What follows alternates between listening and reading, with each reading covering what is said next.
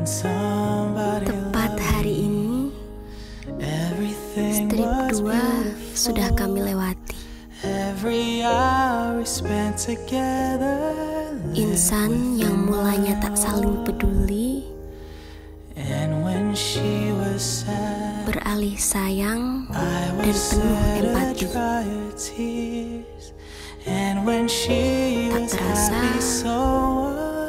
Dua tahun sudah kami bersua. Tertawa, terluka, dan ditempa bersama membuat kami paham arti keluarga. Di sini, kami ingin bercerita tentang kisah sang kuda baja. Menahan rindu lewat amarah, menahan pilu berujung semu oleh tawa di setiap waktu.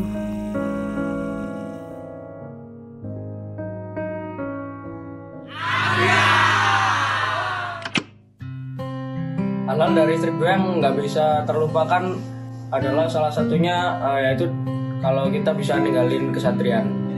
Ya wajar lah kita sebagai anak asrama ya nggak mungkin nggak jenuh sama keadaan di asrama. Kalau aku sih yang berkesan selama aku sama teman-teman itu latihan band di luar. Malah enak banget bisa makan di luar, bisa malmingan di luar, terus bisa naik motor keliling Malang sama teman-teman. Terus tapi di balik itu, di balik dispen itu ada proses yang rumit. Selain itu, kita sebagai anak IPS, kita kan nggak punya lab dan kita juga nggak ada tempat praktek di sekolah. Jadi, kita inisiatif untuk ngadain study tour. Tujuannya supaya kita itu dapat memiliki pandangan dan kita dapat mengkickstart adik kita tentang kehidupan di, di luar dan persaingannya. Kita juga pergi ke Tunjungan Plaza. Alasannya sih buat mengamati pasar, tapi ya sebenarnya kita cuma bikin jalan-jalan aja.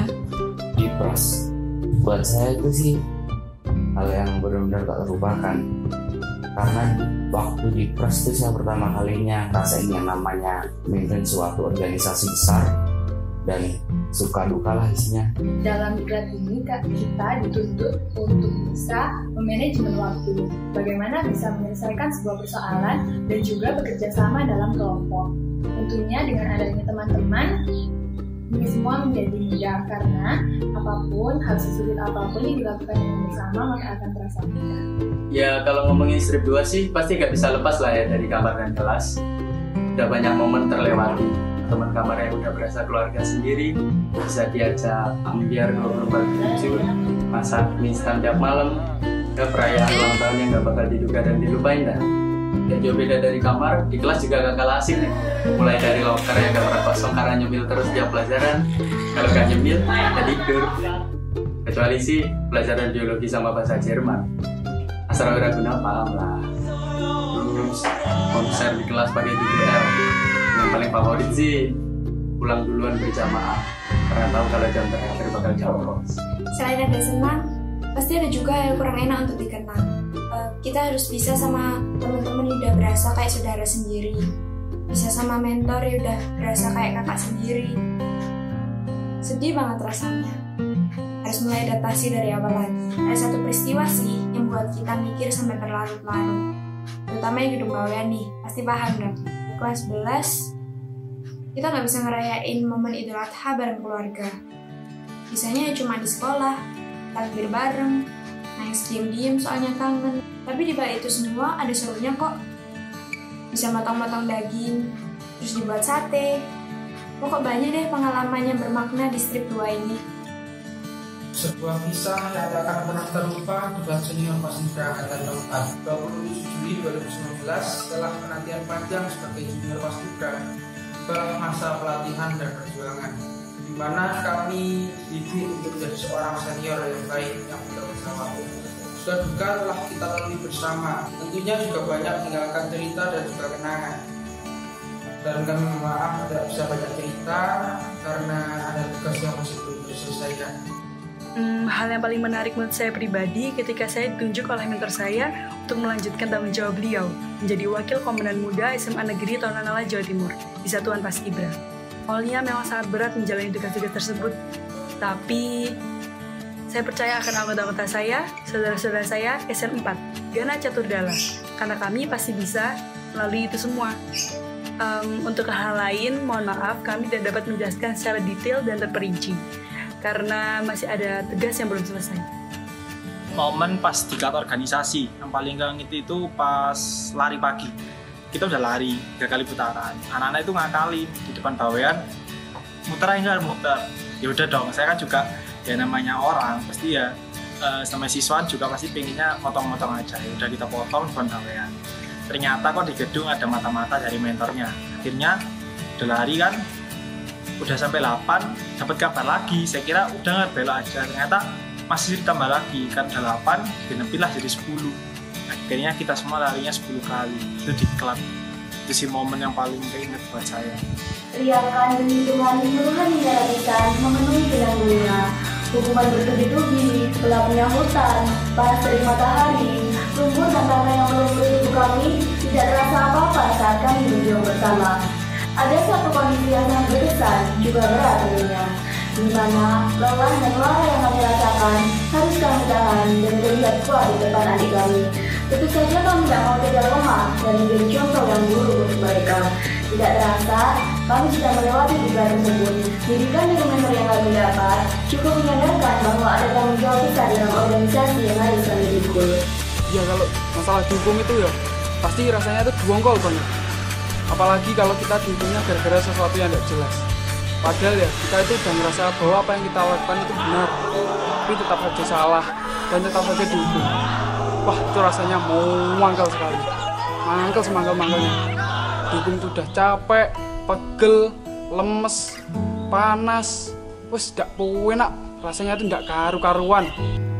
Sama tak bukan cuma pengen senang-senang bubaran jasmani. Juga pasti senangnya juga pengen berkompetisi sama temen lari bareng sama temen. Banyak sih momennya di situ. Ya nggak cuma sekedar lari push up sit up atau pull up gini aja. Banyak yang mau cerita bareng sambil liatin anak yang lagi lari. Capeknya nggak bisa dibunuh tapi yang paling berkesan yaitu foto satu angkatan. Seluruh pol. Sampai ada yang angkat-angkat meja hanya ingin nampak di kamera. Sampai ada yang jatuh tuh. Tapi yang paling nyebelin habis sama kita eh masih ada apel siap Dirganala itu adalah momen yang paling dinantikan di mana kami bisa menyaksikan konser melewati jam malam yang biasanya ketika jam malam kami sudah harus berada di kamar untuk beristirahat pada saat itu kami bisa memakai kostum semau kami tanpa adanya aturan. Pada saat itulah kebahagiaan datang ke kehidupan kami yang berasrama ini. Kami dan teman-teman bisa bernyanyi dan hura-hura bersama.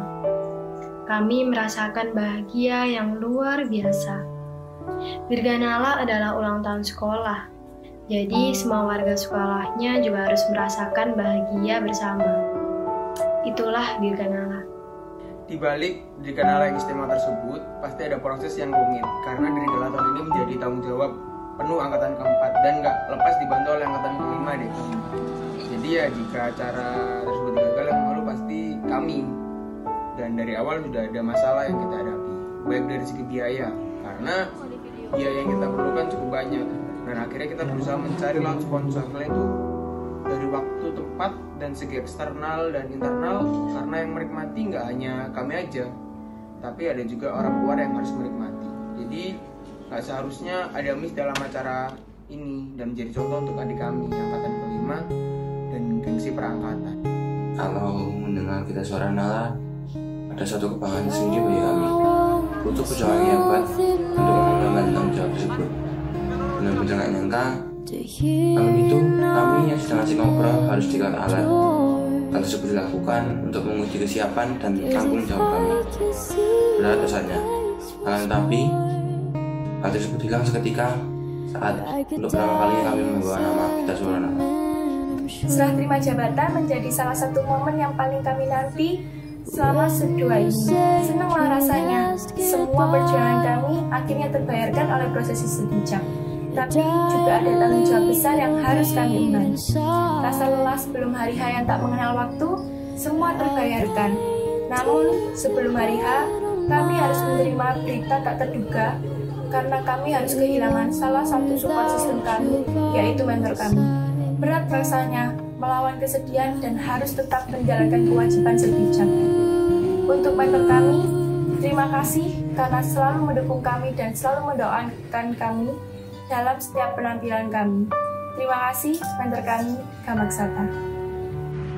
yang nggak nyangka aja sih tiba-tiba pada saat itu kita ada pengumuman kalau sekolahnya libur siapa sih yang nggak seneng kan kalau sekolahnya tiba-tiba libur nah tapi kita tetap ada kegiatan seperti biasanya seperti olahraga pagi apel pagi dan sarapan bersama nah setelah sarapan ini kita diperbolehkan untuk melakukan aktivitas masing-masing Nah, tiba-tiba pada saat kita lagi asik-asiknya nih kumpul di kamar, ada pengumuman dari ruang pembina yang mengatakan bahwa hari itu juga kita boleh langsung pulang ke rumah masing-masing.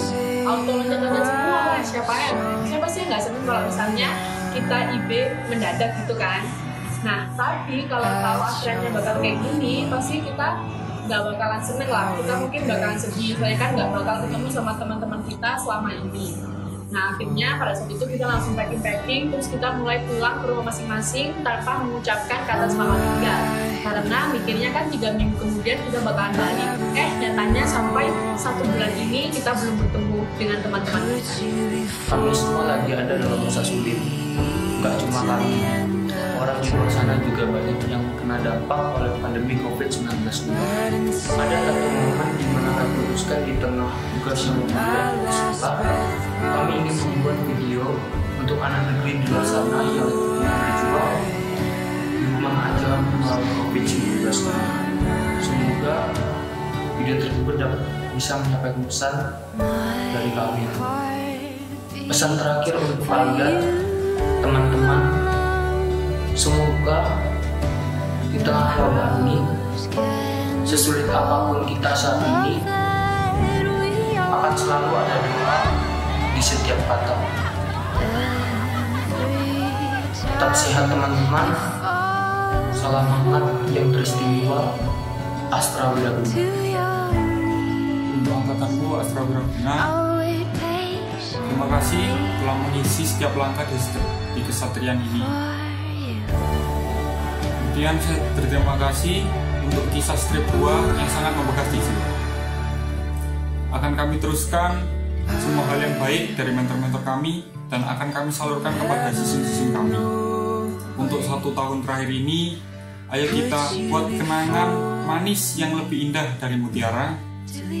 Bersama kita tak akan terpisah, lalu restu semesta menggapai angan serta cita. Whenever you're volume that we were seeing. I believe first, the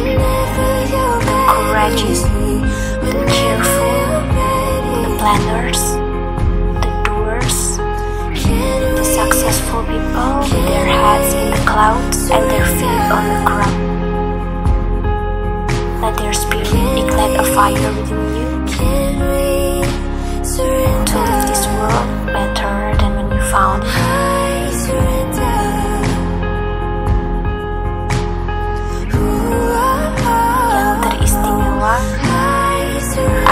사람이란 거.